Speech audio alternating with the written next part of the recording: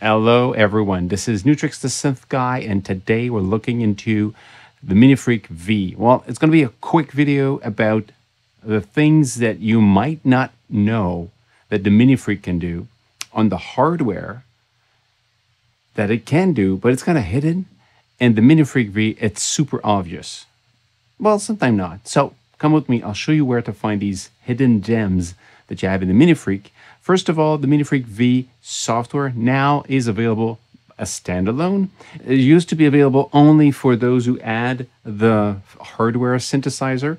And it also still works that way, meaning when you have the MiniFreak V as a standalone, and you connect the MiniFreak hardware, it, it links together. You have this little window. So you see at the top, you've got linked to MiniFreak. So this is because it's the standalone version I'm, I'm running, and it's linked to the hardware that I have. If I don't have this, well, of course, it won't show up. And it's also the only way you can use to update the firmware, which you have here at the bottom, firmware update. So if you need to go that, you can do this. I don't have to, it's the latest version. But these extended features of managing the hardware is only available in the standalone, not in the plugin that exists within your DAW. Today, we're going to go quickly about hidden features of the MiniFreak that you have here, but if you don't look closely, you won't find them. They're here also, and some of them are not obvious to find. They're kind of hidden again. So let's just go into these. If you want to know more about the engines that runs inside the MiniFreak, I did a video. You should be there or down there, the link to that other video. But I mean, the structure is fairly simple. You've got two oscillators. They go into a filter. The filter goes into three effects and uh, you can play that, you know, and it's a polyphonic synthesizer that multiple ways to play it. There's a sequencer in it, and let's start right away. If we want to talk about advanced stuff, let's jump right into the events window. The events window, what you have here, if you have kind of the whole thing that the MiniFreak can do, you've got here you can choose the waves that you want to play with. But when you choose the wave, what you have after here, you've got controls. You, there's options that changes depending on which one you pick. So you see here, you've got a gain because there's audio in. This one here, you got octave for mod quantize. You go, okay, mod quantize, what is that? If you send an LFO to the oscillator one, you're going to be controlling the pitch. But you could say it's going to control the pitch not in a continuous way. I want it to be an octave or only in uh, chromatic, only in uh, fifth. So it becomes kind of a, an arpeggiator in a way because you're going to hit notes right away. So this is really interesting because this is not something we see often. You need to go to some other uh, module in a modular synthesizer to kind of step the LFO so it doesn't go anywhere or everywhere. So in this case, the option here makes it so that the pitch is going to be in tune with whatever choices you make here. And if you go continuous, it's going to be classic, just moving freely to the speed of the LFO. So that's going to be one thing that is interesting. And then when you move them, sometimes you've got another option appearing like here. You got free run or not, you know. So these options are interesting because they will give you more control over the sound. Okay, so that's one thing. Same thing here, same logic here. And then if you go to the others, you have other controls. Again, you get the mod quantize. So that's one thing. You can detune them separately. It's here. You get this little plus here that appears. The plus basically tells you that you can assign something to this. If you press on plus, it will bring you to the matrix window. And then you have these normal destinations. You know, you've got from pitch one and two to the pitch of the two at the same time, oscillator one wave, oscillator two, one timbre, cutoff, and all these things. And then you have more. These are none right now, you know. And you see, if you go over them, you see that they don't change color. But if you go here, this one is blue. It means it's assigned to the oscillator one type here, this thing here. So if you assign, let's say, an LFO to this thing, it's actually going to change the oscillator type. Look, another one. So that's it. If you, if you see these now, they have nothing assigned to them. If you press on plus for the sub, here is actually going to assign now the oscillator one shape, which is the value. It's the third controller of the orange one here, the shape here, this one. So you're actually assigning the matrix right here. So if you want to control that, you say, well, the sub, it's, I want to This is the sub here. I want to assign to LFO1. So that's one that you see, and you see the movement right away. So that's it. Very simple, very quick, and easy to do. Now, these hidden controls, you have them at different places. You don't have it in the filter because the filter is on the original hardware it's an analog filter. In this case, it's not analog, it's a virtual analog, but it's then you don't have more control. It's the same thing. But here in the effects, you see you can, of course, select them the way you want. You can turn them off if you don't want them. Okay. And there's a, here you see the big crusher, you click on it, you've got options. So, okay, I want to have a distortion. And then under it, you've got classic. You're the presets. You can click here and say, oh, there's classic, soft clip, germanium, dual fold, climb, and tape. So these are the different type of distortion you have in it. So for each of them, maybe not each of them, but most of them, you've got a choices like reverb. You can have them long, hall, echoes, room, and dark. So there's preset you can change. But then there's something interesting. For reverb, you've got insert or send. So if it's send, if you go same thing here, let's say you select delay, actually delay is going to be picked on last one. Last one is on send for the the, the delay. And again, you've got different type of delay, ping pong, sync or not sync, mono, mono sync, filtered, filter sync, filtered ping pong sync. I mean, a huge amount here. So you don't know how powerful the effect here is. It is just mind boggling the options you have here. It's really cool. Now, the concept of insert or effect is that if you want to plug them out like they would be effect pedals, like one going through the other, then you would say, well, the first one I want to be in insert. And then it goes into the chorus, and the output of the chorus goes into as insert into the delay. So the result is one sound that has been reverbed, chorused, and delayed one after the other. And the result has been passed through to the next one. If you put it in send, they're going to be in parallel.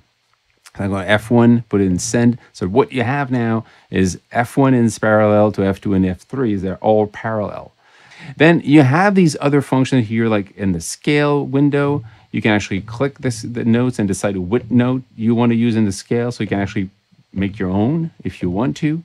And the voice, again, you get controls here to decide mono, unison, polyphonic or um, paraphonic. And then if you're in paraphonic mode, second oscillator is the same as the first one, so it, dis it disappears in a way. But what you have here is interesting. You've got this little tool, and then you click on it, you say, okay, it's in paraphonic. Then paraphonic, you're gonna decide how much, the, type of gliding mode you're gonna use, the allocation um, of the poly notes. So how are you're gonna you're gonna play two notes. So how are they're gonna assign it, and the note steal which note is going to stay, which note's going to dis- disappear when you play more than the amount of notes you can play. If you change this to, let's say, monophonic, again, some choices here to control this. If you change it to polyphonic, again, you get controls here. So depending on what you're choosing, like the unison, you've got the unison mode, how many unison uh, voices you want to play, and the spread, how much you want them to separate from one to the other, you know, how far you want them to detune. So all of this is really powerful. And in the MiniFreak, it kind of go into little menus, which is not a big deal, but sometimes people don't dive and they don't see it. In the V version, you see it right away. Same logic with the LFO. You see different options here of uh, of ways that the LFO can work. And You want a free running. You want it to be polyphonic, uh, retriggering. You want so there's different ways to to start. So in, in this case, in the virtual version, it's easy to see right away. You see it in the hardware. It's always there, but you need to decide how to do it, kind of. A, and there's this thing here, which is free or all. So you want it to be triplet, dotted, free running, or all. So the a whole note. So it's um, it's a tempo sync if you want, basically. One thing that is interesting also is the wave. If you go to the maximum here, the last one is shaper. Shaper is a wave that you can draw, you can make your own. It doesn't have to be an LFO uh, always one cycle. So then you go to the LFO shaper that you have at the bottom here, and you can just draw the way you want. And then you can click here and say, well, I want to erase that one, and I want it to be like this. I want to erase that one, I'm going to be like that. Like this one, I'm going to erase. You need to erase first and read, oh, enter the value I want to have. And okay, like this. And this is going to be like that. You erase first and put it like that, you know? So you can just draw new shapes, and make it into a weird shaped LFO. And you can also change the length of it, you know, uh, here with the steps, how many steps you want to use. So very complex, very powerful, and you get how much you want that movement to work. And it's the it's it's you've got two, so the other for one and two can have this. So again, this is available. And it's it's really graphic. You have this also on the on the hardware. It's it's fairly easy to do the same thing. Same logic with the envelopes. You have this little option of the tool you can click. You've got options here. Is it polyphonic key, monophonic key? How you want this to be retriggered for the envelope here. Uh, same thing here. You want the envelope to be reset or in continue mode. And the way the velocity is going to affect the VCA, the VCF, uh, the envelope, the time, all of this is also available in the hardware, but it's not as obvious because you actually have to go inside little menus. But it's there. It's it's everything's there. So all of these little things are just, I would say, cool things that you can just use to get more out of it. And same thing here, if you want to control the pitch and the mod, you can say you want to have vibrato, the speed of it, the pitch bend range you want to have. Uh, macros, if you're in macro, I'm going to close this. Uh, you're basically going to click here and you're going to assign the macro, uh, yeah, the macro number one to a destination part of the modulation matrix. So all of these others here are assigned to none. So if you click on something like hold, you click on it and it becomes assigned to none. Then you say where I want it to be controlled, like wheel or something like that, or velocity and aftertouch. And then you see here you can still assign just velocity, just aftertouch, and velocity and aftertouch. Same thing on the hardware. We're in aftertouch now. Just want to take a little moment and talk about something. I had a question today about somebody says, well, uh, if I have a MicroFreak, which is a polyphonic key uh, controller, keyboard controller, because it's different in the way it's done. So each key has a pressure that is separate from the other one. If I use that and control the MiniFreak, would it work? I didn't try it, but my guess it's no, because when you look at this, they only talk about aftertouch, and aftertouch is a channel aftertouch. Here you've got a channel aftertouch, so there's no reason for it to work. I didn't try it. I'll have to try it.